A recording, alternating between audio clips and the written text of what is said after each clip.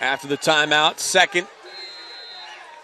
Make it first and goal from the two. Fellner, the linebacker, comes in as a tailback. Arise under center. They'll give it to the fullback, and it is Fellner who takes it. No signal. Like it's now it is a touchdown for Sabino.